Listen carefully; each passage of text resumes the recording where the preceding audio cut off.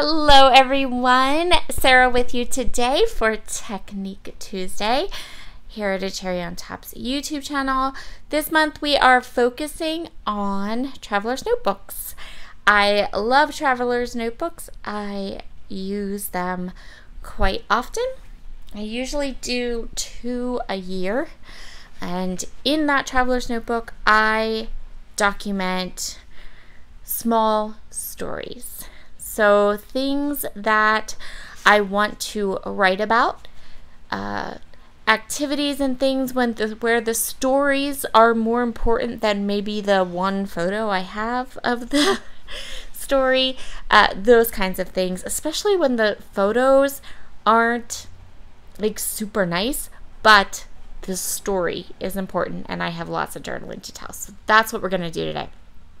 I'm going to be working with 49th and Market's Nature Study Collection.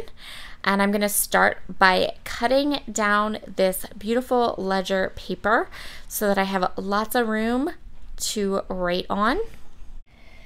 These are going to be the background pages for my spread today. I'm going to ink them up using Vintage Photo Distress Oxide ink. And I'm going to start by kind of going through my embellishments. So I have lots and lots of embellishments for this collection. And I'm just going to go through. I especially wanted to look at this sheet of rub-ons because I was hoping I could find a couple of things that I could use to help tell my story and to also use almost like a title. And I'm definitely going to be able to find that on this page of rub-ons. This collection has a very outdoorsy feel, but we're actually going to tell the story about being indoors. So uh, just know that it's a little, it's versatile. You can use it for both, but it does definitely have like an outdoor slant to it, and I am going to make it work for my photo. So I'm going to go ahead and just trim out the rub-ons that I think I'm going to be able to use for my spread today. I went through the ephemera and chose a couple pieces that I'm going to use for my spread. I want to create a, a tip out and kind of have my journaling hidden under my photo. I'm also keeping to the shades of like some greens and some blues. I want to make sure to include those colors because in my photo, that's really the only colors that are there. I took a little strip of that paper that I used to cut for my background and I created a torn edge. I'm going to go ahead and put that torn edge down the right side and then I'm going to take the little bit that's left and it's going to be the absolute perfect size to put across the bottom of the facing page. And I inked all of this up using the Vintage Photo Distress Oxide ink as well. This little file folder from the ephemera pack is going to be perfect both as a background and home for my photograph as well as the flip out element, the tip out element that I really want to include on this spread. To create my tip out element, I'm going to use the fabric tape from the Nature Study Collection. There are, I think, five of them in here. And I'm going to pull them all out and just kind of decide which one I like the best. I'm going to go with the thin kind of gingham looking one that is a bit orange. It's just nice and warm and I, I liked it. It was a really good width for what I wanted to do. So I'm going to start this tip out by placing a strip of this fabric tape along the left side, making sure that I have a good bit of that file, fo file folder ephemera piece underneath and also attach it nice and tight to the background paper. Next, I am going to take an X-Acto knife and just make a little slit across the top and bottom. And I did get my head in here just a little bit. And what's that going to do? What that does is it's going to help me to be able to open this tip out completely. Then I'm going to match the fabric tape up so it looks seamless.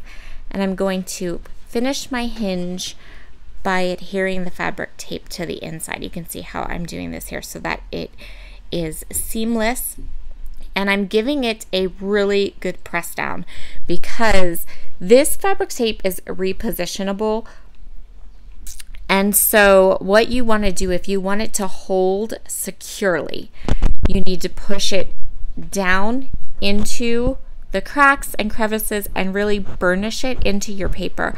Once you do that and then kind of let it dry a little bit, almost like you would let glue dry, it holds really, really well. But at first, like when you first do it, it's repositionable and it will come up quite easily. So the inside of this tip out is where I'm going to put all of my journaling. I'm going to just take some of the one of the sets of rub-ons and I'm going to also grab a die cut label and I think I grab a mushroom and a butterfly and I'm just going to put a little bit of embellishment at the top and bottom of this tip out. And other than the journaling and the date stamp, the left side of my spread is done. You can see my journaling and the uh, date stamp on the close-ups, which will be at the end of the video. For the right side of my page, I want to add these lovely rub-ons. So I have this one that says Seek and Find, which goes along with my journaling and is a really great uh, sentiment for this particular story. Um, I'm going to use the little details, which is going to act uh, quite appropriately for my journaling. I also have some of these fun little book pieces for the from the rub-on sheet that I'm going to use as well.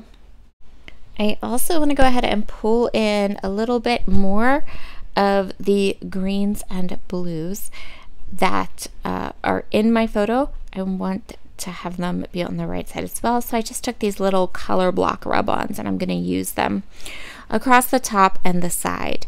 When I get to this point, I want to make sure to add my tags to the bottom and I don't want to um, hide any of the rub-ons underneath the tags. So once I get these in place, I'm going to stop and work at on those tags across the bottom. I apologize if you can hear the rain outside my window. I feel like my brand new microphone is picking it up, and if it is, I apologize. But also, it's a lovely sounding rain, so uh, maybe just lay back and enjoy it.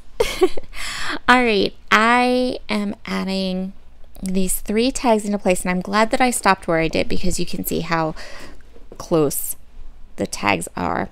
I tucked the two plain ones underneath and put the one with the butterflies on top.